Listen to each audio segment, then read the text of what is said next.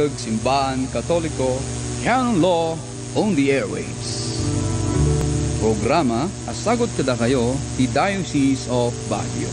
Ti panakaibingay, kan panakilaulawag, dagiti lintag, simbaan, katoliko. Tapno maawatan tayo, dagiti na dumaduma, na alagadan, kan paglintagan, para iti at-adda, apan nakikaykaysa tayo, iti biyag ti simbaan. Maawis kayo amin na dumngeg, kadagiti canonical, kan ecclesiastical laws, iti simbaan tayo. Intay nga rod makadwa ni Father Rosito Pedro Jr., GCL, kan Judicial Vicar, ti Diocese of Baguio. Mangipaay inspirasyon, kan pagpampanunutan, ti tunggal maysa. Ito'y programa tayo, Adal, Lintag Simbaan Katoliko, Canon Law on the Airways.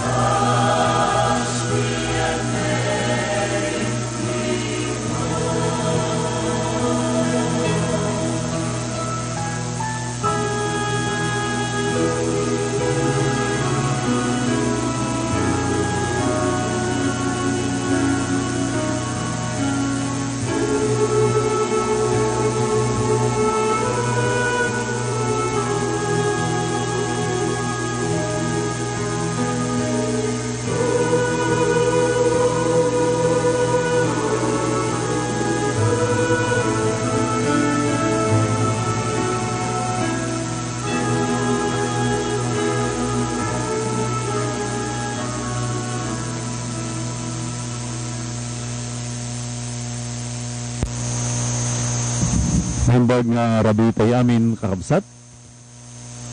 Iti dahi nga malamanan iti uh, Miyerkules, iti may ka sa nga pulo kat lima, iti dahi nga bulan, iti uh, Setyembre. Kaya uh, agpatuloy tayo iti dahi nga programa tayo, iti Adal Lintag, Simbaan Katoliko, Canon Law on the Airwaves, iti Diocese, iti Dios. Kaya uh, muna unay kablaawan kayo tinaimbag nga rabii. Kaya uh, kasakbayan iti panagpatuloy ti manan iti dating uh, programa tayo. Yan tangay tatak at uh, we are celebrating the memorial of uh, Our Lady of Sorrows, Nuestra Señora de Dolores, referring to the Blessed Virgin. We uh, open our program with an opening prayer asking for her help.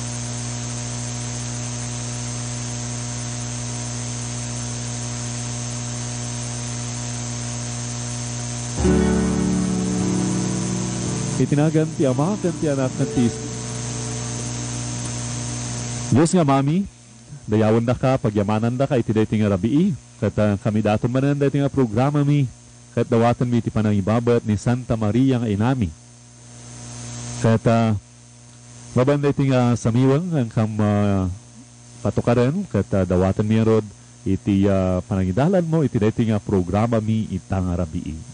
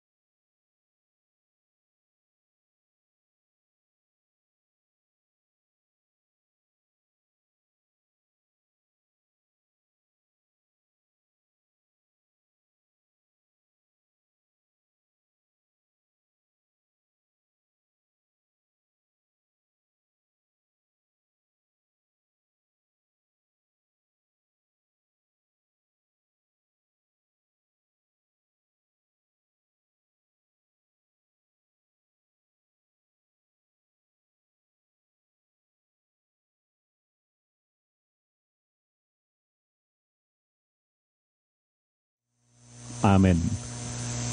Mga kababsat, itang uh, aldaw katramrambakan tayo iti uh, Nuestra Señora de Dolores, yeah? Our Lady of Sorrows. Na maiya silpumot lang iti rambak tayo, idi kalman, may panggap iti uh, panaka iya and the exaltation of the Holy Cross niya po Jesus.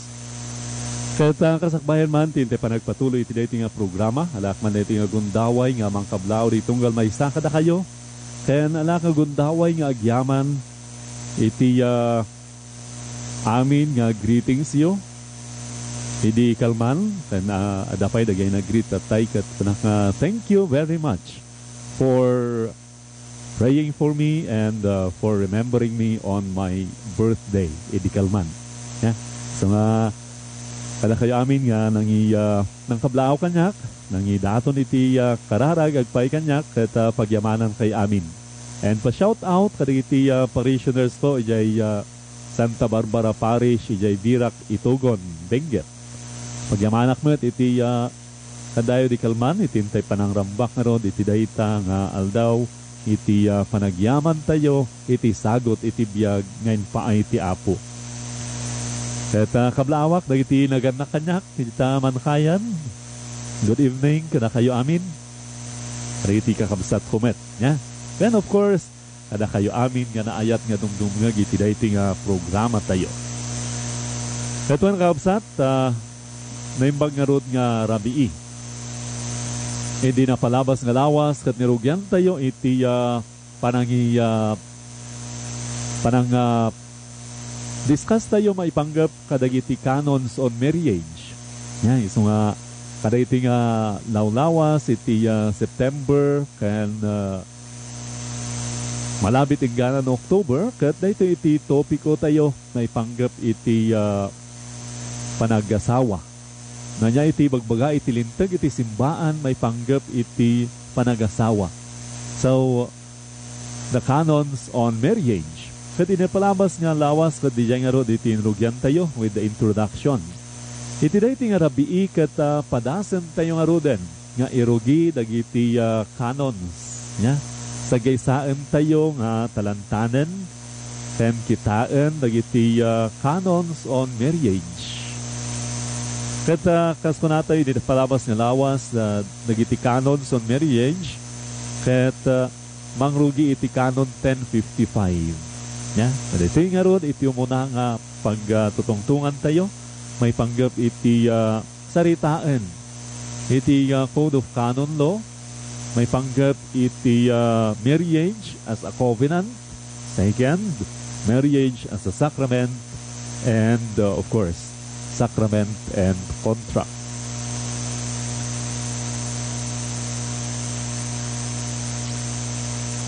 Iti Canon uh, 1055 kakabsat ket uh, saritaan na iti fundamental nature of marriage. Iti uh, barbaro Code of Canon Law iti 1983 ket uh, anda iti paay na nga definition may panggap iti uh, panagkalaysa, may panggap iti panagasawa. Kada iti man iti linaon iti kanon 1055. Ano kitaan tayo tinakaybasaran na matlaang daytoy kat awan sa bali no saan nga iti dokumento iti maikadwa nga Konsilyo Vaticano, the Second Vatican Council. So, as we have said in our preliminary uh, discussions, hindi na palabas na lawas, iti Code of Canon Law 1983 that uh, it is also influenced, greatly influenced by the documents of the Second Vatican Council. And of course, uh, iti uh, uh, jurisprudence iti Roman Rota after the Second Vatican Council. Iso nga, dagita iti uh, mabalin nga kitaan tayo itintay panang talantan iti dayti nga nature of marriage nga isuro iti simbaan ken i uh, pasingkadan mat iti uh, iti linteg iti simbaan tayo matlaan.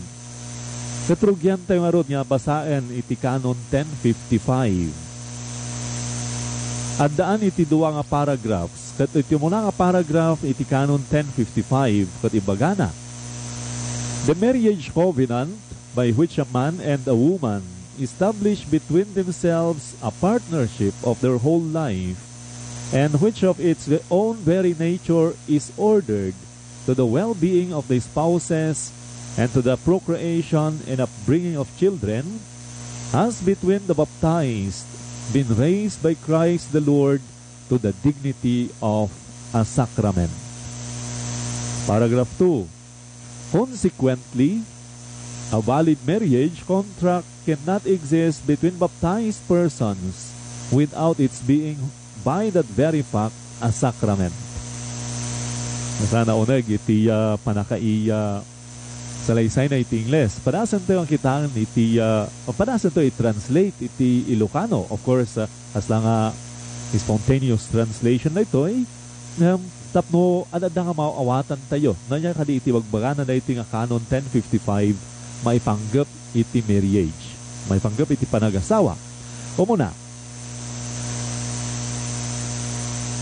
titulag panagkalaysa, the marriage covenant. No sa dino kat ti uh, lalaki kan babae ipasdakda. Iti uh, panagkaysada iti intero nga biag ken iti uh, nature na ya, iti marriage. Ket nakaordinar iti uh, pagsayaatan dagiti agasawa. Ken iti uh, panakaparswa ken panakai uh, panakataming di, dagiti ubing. Ket inpasdak ni Apo Hesu Kristo kadagiti nabunyagan iti dignidad akas may sa asakramento. Ya iso nga dijay iti uh, ibagana da iti kanon nga para kada tayong nabunyagan kahit na isang sangayan iti kaipapanan iti panagasawa gaputa in uh, saad ni Apo Jesus. Iti dignidad iti kinasagrado. Ya iti dignidad akas may nga sakramento. Ngarod kuna iti may kadwa nga paragraph na.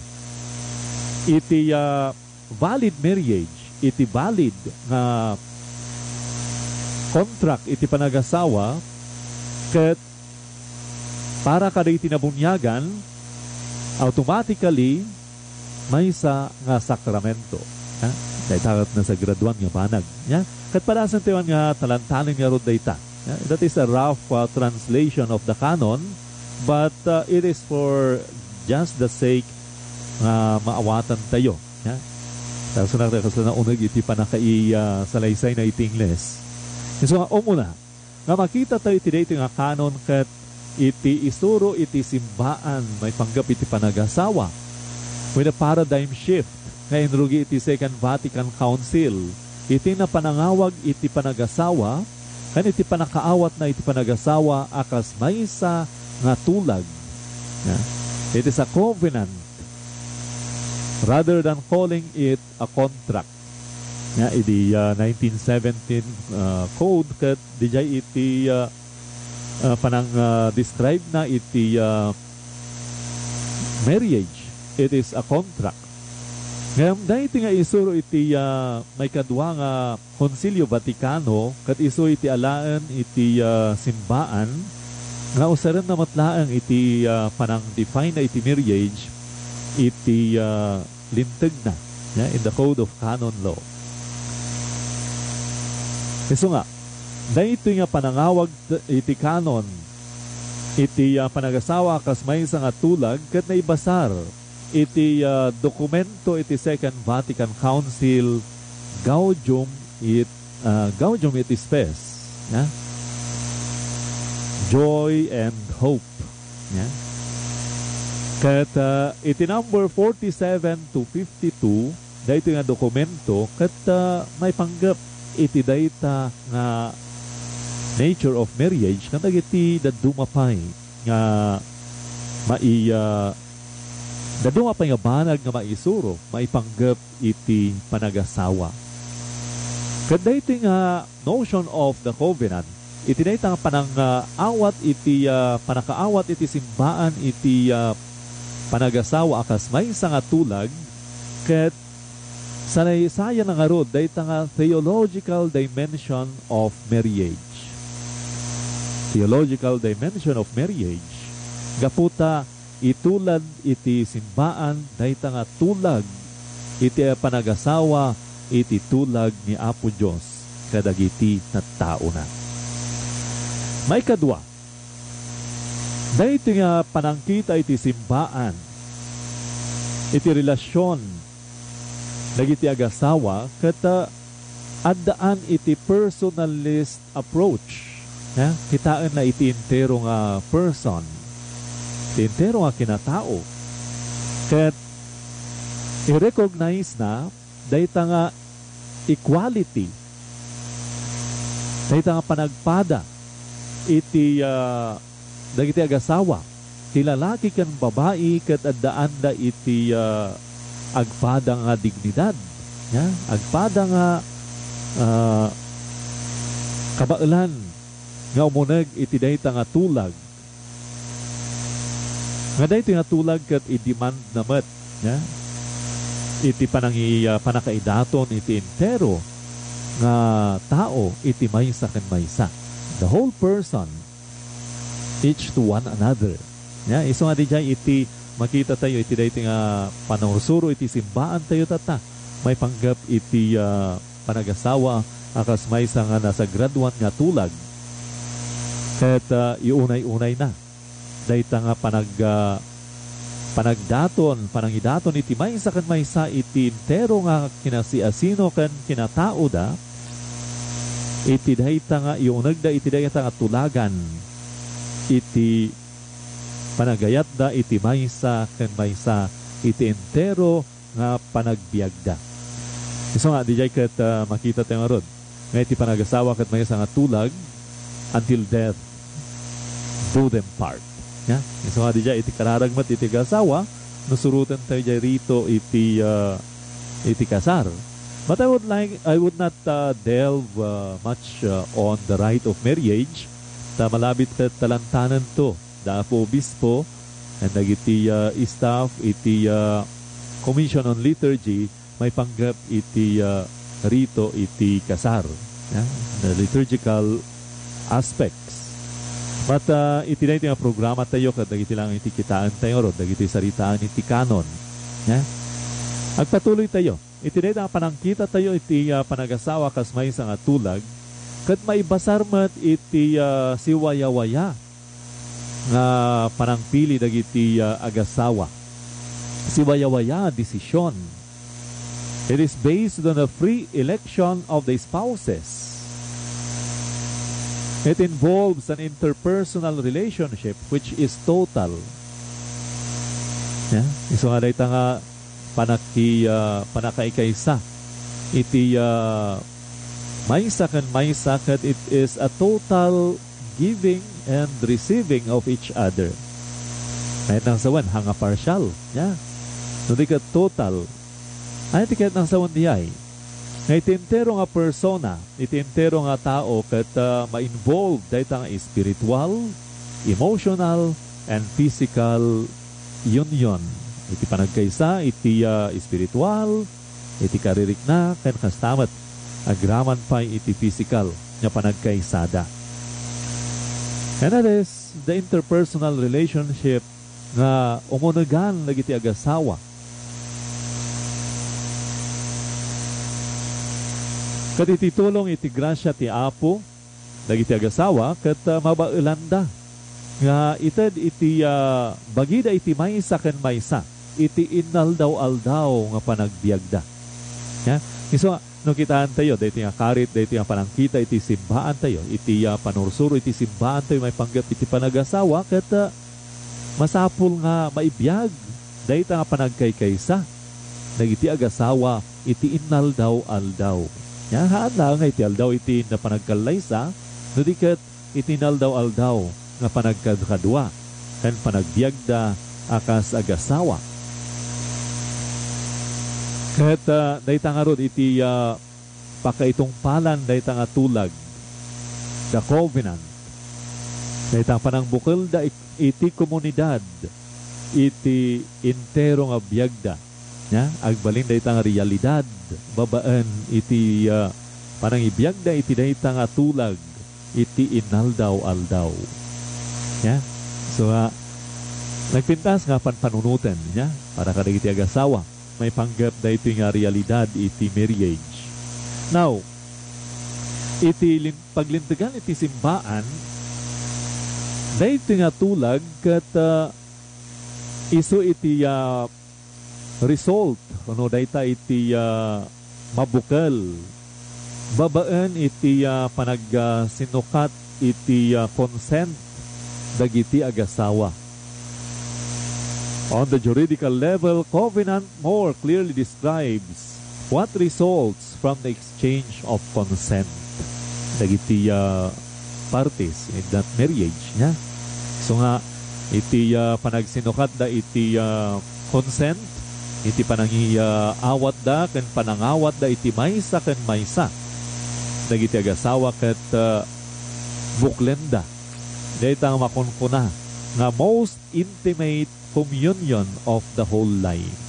Dayta nga nairot nga panagkaysa iti intero kabiyag. Dayta iti uh, uh, ragsak, dayta iti uh, linaon iti panagasawa. Nya?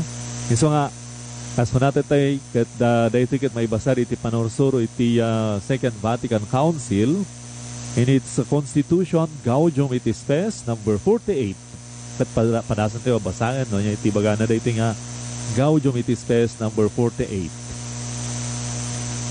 The intimate partnership of married life and love has been established by the Creator and qualified by His laws and is rooted in the conjugal covenant of irrevocable personal consent. Hence, that human act whereby spouses mutually bestow and accept each other, a relationship arises which by divine will and in the eyes of society too is a lasting one. Dahita iti baga iti uh, simbaan tayo. Nga nga nairot nga panagkaisa iti biyag nga nasawaan iti biyag kan ayat nga nasawaan ket uh, inpasdak iti namarswa ken tulungan na babaan iti linteg na. Tapno mairamot iti dayta nga tulag. It, iti uh, irrevocable irrevocable saan nga mabawi nga consent. Ono panang uh, panang panangalukoy Hence, by that human act, the spouses mutually bestow and accept each other. Kat maparnuay dayta nga relasyon. Relasyon na iti agasawa nga iti uh, mata ni Apo Diyos kan iti imatang iti uh, sosyedad kat it is a lasting one. It is a covenant. Pero iti uh, excuse me, isuro iti uh, gaudium iti spes. So, iti panagpatuloy iti uh, panangkita tayo iti Canon 1055 after we have seen dayta nga uh, concept iti marriage akas may nga tulag as a covenant. Iti Canon 1055 ket uh, saritaan na pay nga daytoy nga tulag ket in uh, saad ni Apo Diyos iti dignidad iti sakramento. The marriage covenant has been raised by Christ the Lord to the dignity of sacrament.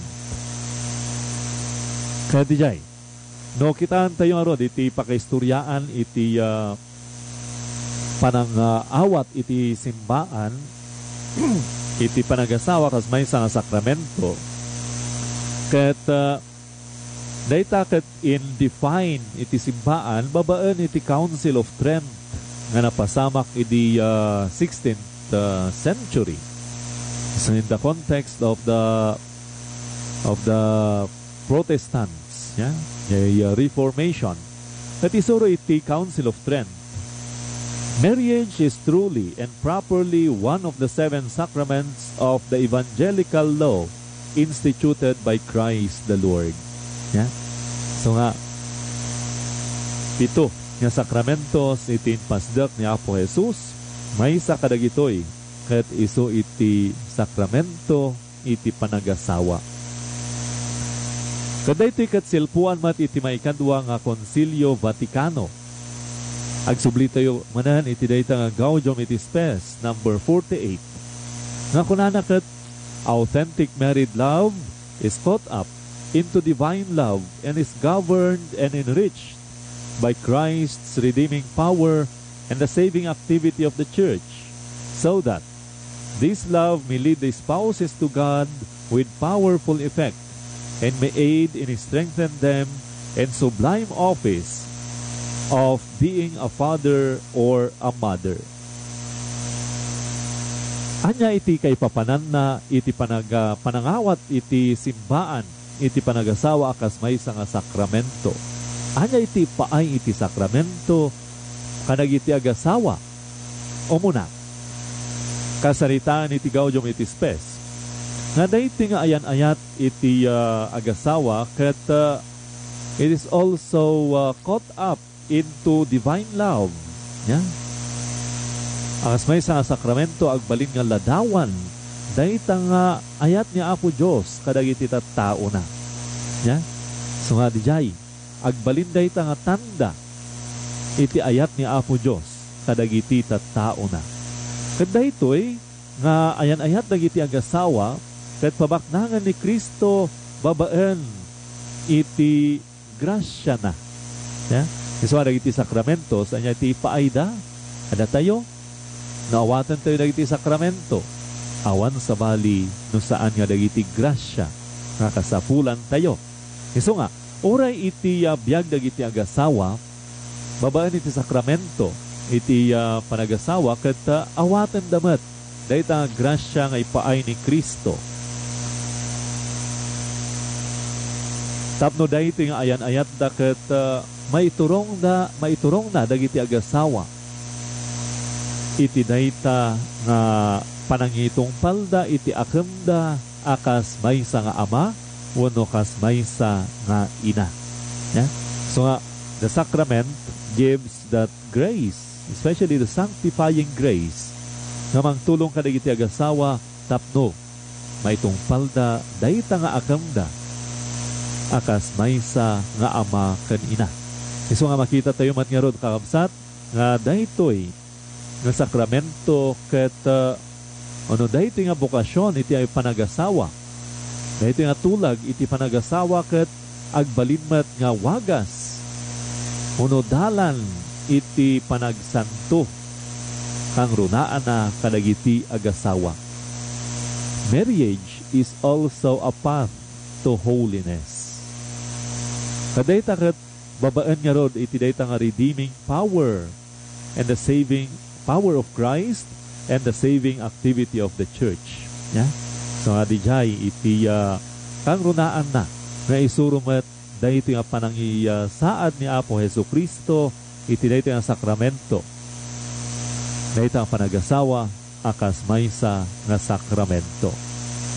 So, indeed, marriage is a sacrament that gives grace for the sanctification of spouses and for the religious and holy reception and education of offspring.